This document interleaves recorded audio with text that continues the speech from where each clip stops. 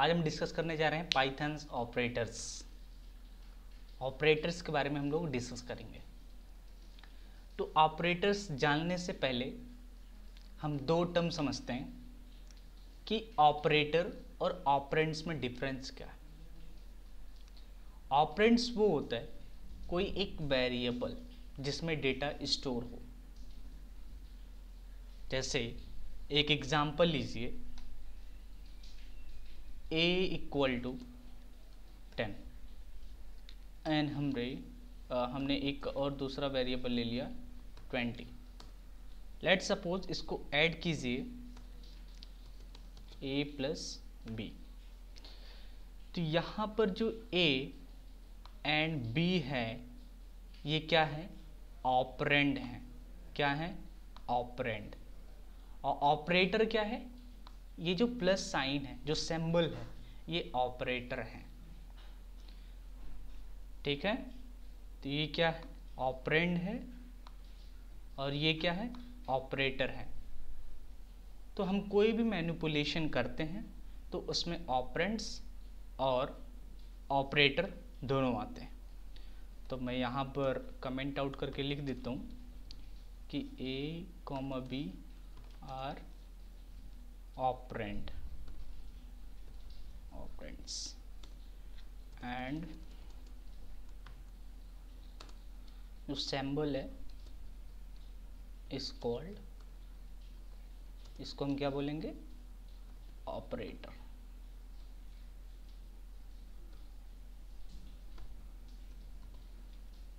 Operator okay so ये है operator different types के ऑपरेटर होते हैं पाइथन में। तो एक एक करके हम लोग देखेंगे सब ऑपरेटर को। तो कुछ ये मैंने लिखा है कि पहला है आर्थमेटिक ऑपरेटर सेकंड है असाइनमेंट ऑपरेटर्स थर्ड है कंपैरिजन ऑपरेटर्स फोर्थ है लॉजिकल ऑपरेटर्स फिफ्थ हैं आइडेंटिटी ऑपरेटर्स सिक्स्थ है मेंबरशिप ऑपरेटर्स सेवन्थ है बिटवाइज ऑपरेटर तो कुछ ये डिफरेंट टाइप्स हैं ऑपरेटर्स के, जो हम एक एक करके पढ़ेंगे। तो चलिए सबसे पहले देखते देखते हैं कि अर्थमेटिक ऑपरेटर क्या होते हैं। सबसे पहले डिस्कस कर लेते हैं कि अर्थमेटिक ऑपरेटर क्या होते हैं। अर्थमेटिक ऑपरेटर ओके सो पहले हम ये डिस्कस करते हैं। अब अर्थमेटिक ऑपरेटर के अंदर क्या क्या आते हैं? प्लस सिंबल सेकंड आता है माइनस सिंबल थर्ड आते हैं मल्टीप्लिकेशन सिंबल फोर्थ आता है डिवाइजर सिंबल फिफ्थ आता है मॉडुलस सिंबल सिक्स आता है आपके पास में। एक्सपोनेंट सिंबल ये डबल स्टार लगा दीजिए, ये एक्सपोनेंट हो गया। ठीक है? और फिर आता है फ्लोर डिवीज़न एक सिंबल होता है। तो एक एक करके हम देखेंगे। इसको हम बोलते हैं एडिशन एडिशन सिंबल है। ये क्या है? सब्ट्रैक्शन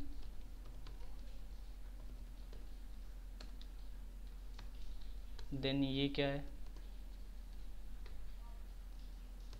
मल्टीप्लिकेशन सिंबल है। देन ये क्या है? डिवीज़न डिवीज़न सिंबल है। इसको हम बोलते हैं मॉडुलस ऑपरेटर है ये। सिंबल है या ऑपरेटर है। इसको हम बोलते हैं एक्सपोनेंशियल एक्सपोनेंशियल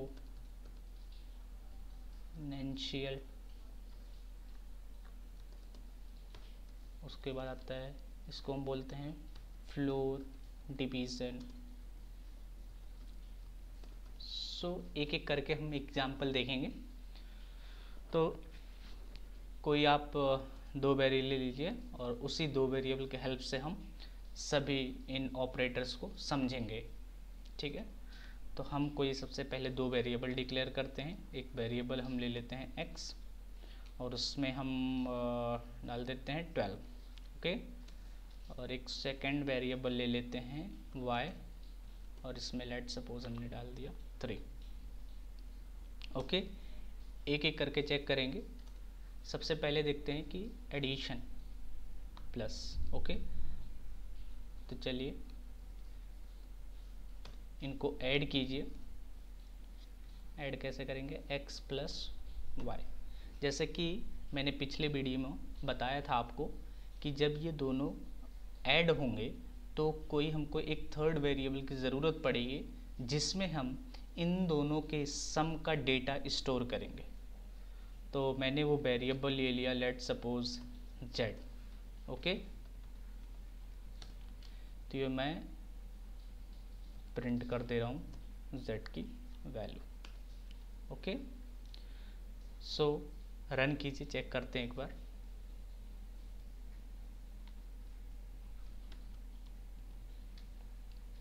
कितना आंसर आना चाहिए आपके हिसाब से? फिफ्टी सो चेक करते हैं।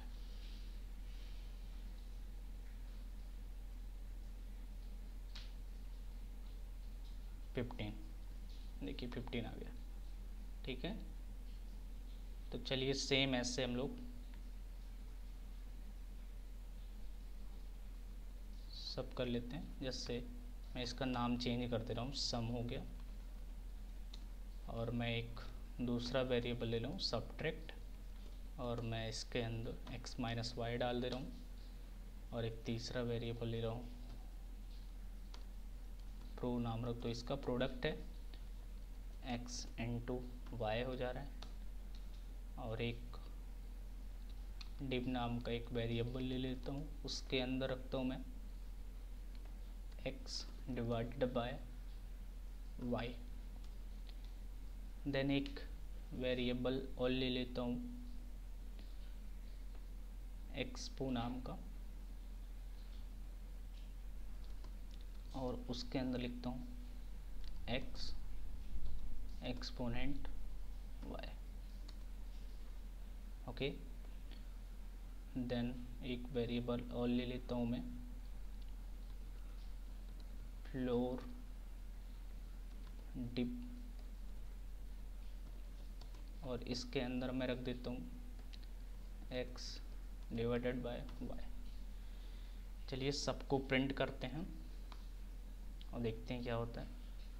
यहाँ पर दीजिए सम और इसको कॉपी करके पेस्ट कर लेते हैं।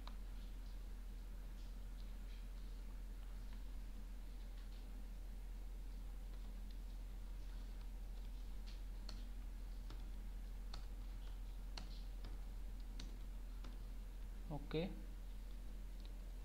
देन यहाँ हम लिख देते हैं सब सब्ट्रैक्टफल एंड यहाँ लिख देते हैं प्रोडक्ट एंड यहाँ लिख देते हैं डिवीज़न एंड यहाँ लिख देते हैं एक्सपोनेंशियल जो हमने वेरिएबल डिक्लेयर किए यहाँ, वही सब मैं लिख रहा हूँ, क्योंकि इसी के अंदर कैलकुलेशन होने के बाद ये सब डेटा स्टोर हुए तो हम वही वेरिएबल को यहाँ लिख रहे हैं।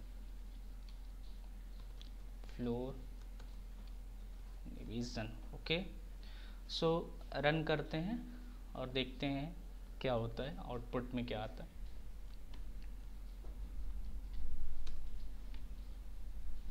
तो चलिए देखिए, मैं आपको दिखाता हूँ कि यहाँ देखिए, हमने क्या किया? इन दोनों को सम किया। X और y को सम किया तो कितना आया? 15 यहाँ पर देखिए रिज़ल्ट 15 आ गया। ओके अब हम सब्ट्रैक्ट कर रहे हैं, x माइनस वाई यानी 12 माइनस थ्री कितना आया? 9 देखिए यहाँ 9 प्रिंट कर रहे हैं। ये प्रोडक्ट कर रहा है मल्टीप्लिकेशन कर रहा है 12 इंटू थ्री दैट इज़ 36 ये करेक्ट है। अब यहाँ देखिए एक डिवीज़न डिप 12 डिवाइडेड बाय 3 यहाँ ध्यान दीजिए कि ये डेसिमल में आ रहा है मींस फ्लोट में आ रहा है। तो जब भी कभी भी एक डिवीज़न का सिंबल लगा है, यानी कि वो फ्लोट में आंसर आएगा। और अगर वही डबल में लगा है तो ये केवल इंटीजर वाले पार्ट को लेता है इंटीजर फॉर्म में लेगा। तो इसका एक दूसरा नाम भी होता है फ्लोर डिवीज़न का, इंटीजर डिवीज़न। एक दूसरा नाम भी होता है इंटीजर डिवीज़न। ओके? सो अब यहाँ देखिए, ये एक्सपोनेंट पे देखते हैं। तो एक्सपोनेंट का मतलब क्या होता है? चलिए मैं इसका एक दूसरा नाम है। Integer division. ओके? अब ये देखिए काम कैसे करता है, ये एक्सपोनेंट आपको मैं बताता हूँ। देखिए। एक्सपोनेंट का मतलब क्या है? कि एक्स की जगह कितना लिखा है? ट्वेल्व उस ट्वेल्व की पावर है थ्री ट्वेल्व की पावर है थ्री दिस मीन्स कि ट्वेल्व थ्री टाइम्स लिखा है मल्टीप्लाई में। Twelve into twelve into twelve okay इसका मीन्स क्या होता है? पावर कि x to the power y. Okay समझ में आया? तो अगर सिंगल डिवीज़न लगा है तो वो फ्लोट वैल्यू देता है और अगर डबल डिवीज़न लगा है तो वो इंटीजर डिवीज़न कहलाता है। ये इंटीजर टाइप का आंसर देता है और ये फ्लोट टाइप का आंसर देता है। और ये प्लस माइनस मल्टीप्लिकेशन ये सब तो समझ में आ गया होगा। तो चलिए, बस इस वीडियो में इतना ही। अगले वीडियो में हम नेक्स्ट टॉपिक करेंगे। Thank you